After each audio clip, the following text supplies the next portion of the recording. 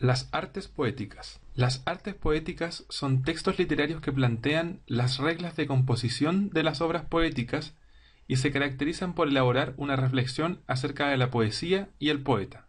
Mediante este tipo de textos, cuyo sentido podría expresarse como el arte de escribir poesía, los poetas establecen una declaración de sus principios artísticos y buscan, por un lado, tomar una posición que los distinga de la tradición que los precede, y por otro, señalar ciertas pautas para los poetas posteriores.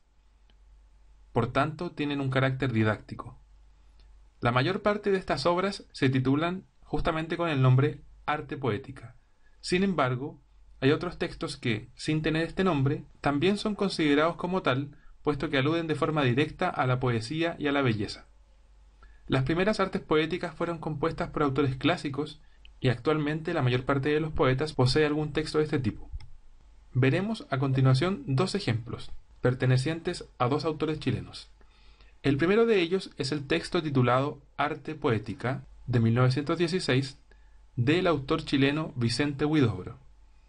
En este texto, el poeta justamente lo que hace es una declaración de principios estéticos, señalando, por ejemplo, que el verso sea como una llave que abra mil puertas, hablando, por tanto, del rol creador que debe tener la poesía.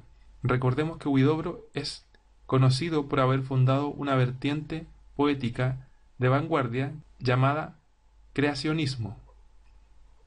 Por lo tanto, en un texto como este precisamente lo que hace es declarar cuáles son las ideas centrales de su pensamiento poético. En los versos siguientes entonces vemos también cómo Huidobro plantea cuál debe ser la posición del poeta, diciendo por qué cantáis la rosa, oh poetas, hacedla florecer en el poema. Por lo tanto, otorga el rol de creador al poeta, lo cual se ve confirmado en el último verso de este poema. El poeta es un pequeño dios. Como vemos, a partir de estas pequeñas citas, en este tipo de textos el autor lo que hace es precisamente señalar cuáles son los principios que rigen su obra poética, así como también otorgar una valoración a la poesía como arte y al poeta como creador o artista. El segundo ejemplo es el texto titulado Manifiesto, de 1969, del autor chileno también, Nicanor Parra. Vamos a leer los versos seleccionados.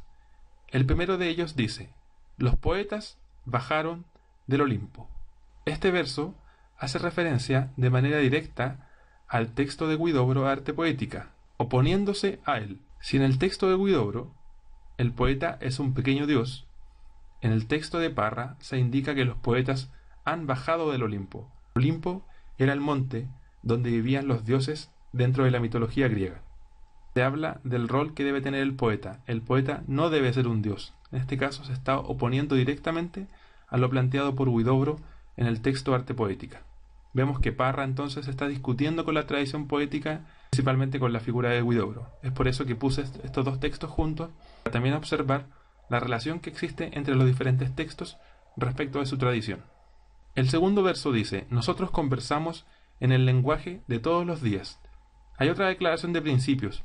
La poesía se escribe en el lenguaje de todos los días, en el lenguaje cotidiano. Aquí también es importante recordar que Nicanor Parra está asociado a una corriente literaria llamada antipoesía. Y en este texto justamente lo que hace el autor es señalar algunos de los principios teóricos, estéticos de su posición como artista. El poeta no debe ser un dios, debe ser una persona común y corriente, y por lo tanto la poesía se escribe en el lenguaje cotidiano, en el lenguaje de todos los días. Por último, otra de las posiciones señaladas en este texto manifiesto, contra la poesía de salón, la poesía de plaza pública.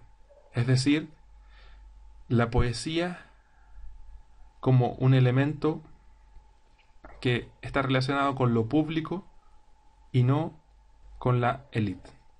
En este caso, el posicionamiento de Parra tiene que ver más con un aspecto político, pero justamente el texto arte poética permite que el autor pueda declarar, respecto de todos los temas que le parecen convenientes y tomar una posición, mirando hacia la tradición literaria y ubicándose en un lugar particular dentro de este espectro.